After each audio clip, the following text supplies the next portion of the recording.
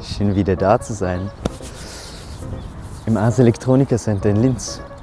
Und ich muss sagen, ich habe auch was Kleines vorbereitet. Ein bisschen was geplant, drinnen im Deep Space. Also, let's go.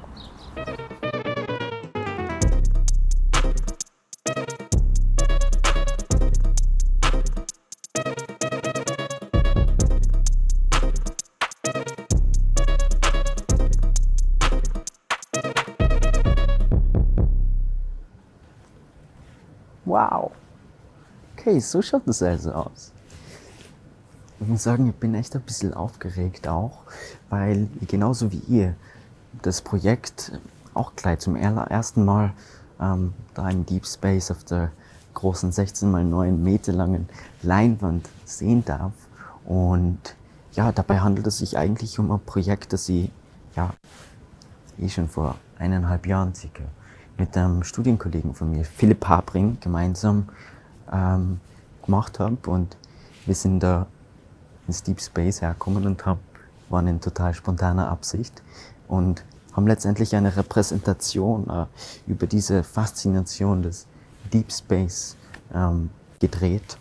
Ähm, es ist eigentlich Video im Deep Space über den Deep Space. Also tiefer kann es fast nicht sein. Ich bin jetzt schon gespannt. Schau mal eine. Ja, eigentlich geht es hier nur um die Kunst, die Technologie und die Gesellschaft, oder? Yeah. Es sind die drei Faktoren.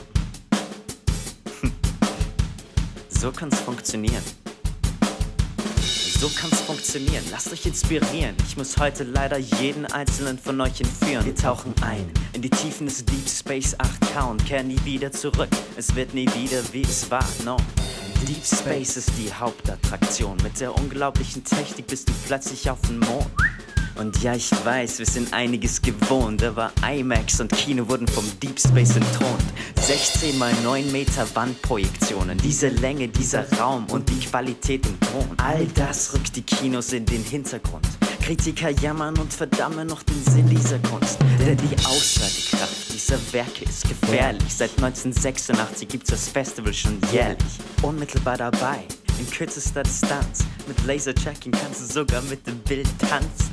Gestensteuerung lässt dich im Bild bewegen und das Future Lab steuert dieser Challenge gerne entgegen. Wir zählen acht Projektoren, jeweils 4K-Qualität, kann man nur verstehen, wenn man es erlebt. Sich neu zu orientieren ist die Intention. Yo, die konvergenten Techniken sind meine Profession. Yeah. Deswegen check ich mir ein Ticket und bin weg. Ich bin gespannt, wen ich heute noch im Deep Space entdeck. Yo.